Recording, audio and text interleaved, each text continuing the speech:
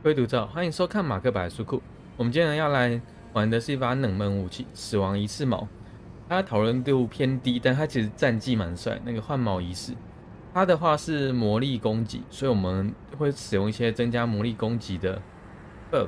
然后我们今天会带的是黄金树立士跟火焰是有力量。那再来的话，我们会使用切腹来触发鲜血绝望的欢愉。那我们因为死亡仪式矛它是吃魔力攻击的，所以我们会放魔法之镜来增加魔法攻击的伤害。那我们会戴白面具。那使用的护符的话是亚历山大碎片、魔力对蝎、仙女巨王的欢愉。那我们最后带个线斗剑，因为这样可以省一些生肉丸。那我们带的灵药的话是带魔力破入地跟智力流结晶入地。那我们就开始今天的挑战。那我们能不用秒杀它。仪式力量，然后再来是切腹。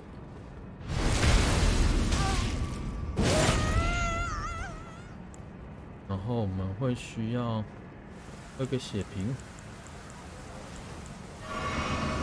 还是灵药，放出这个，我们就开始靠我们战机了。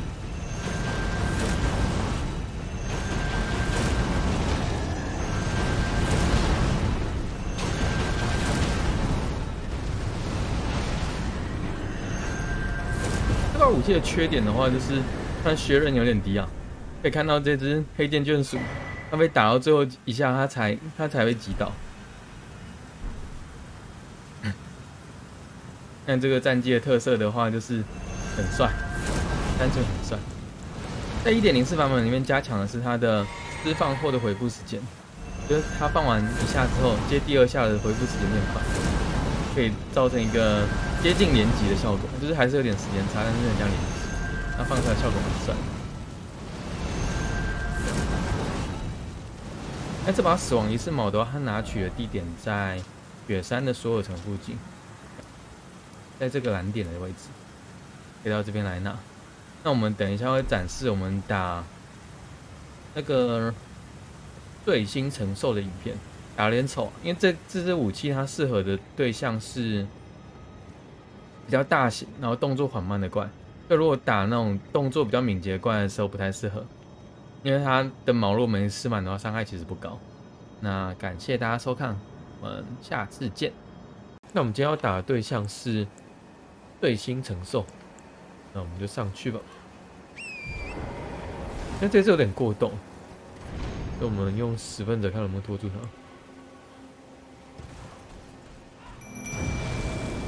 哦。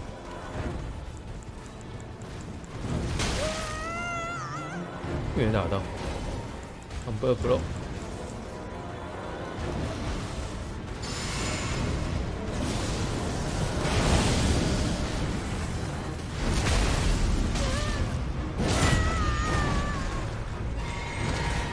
那我们会上一个魔法之地，可以增加魔法伤害。再吃个生肉丸，就开始放了。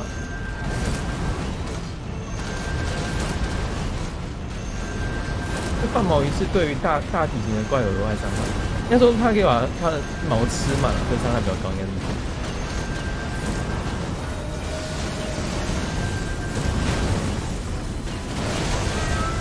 哟，痛痛痛！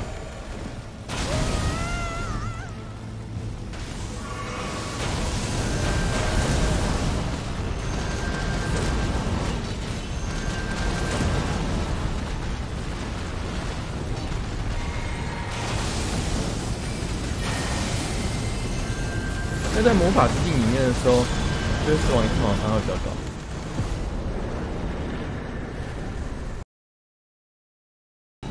看起来就很帅，像这样子，有点像金闪闪的黄之财宝。那就感谢大家收看，我们下次见。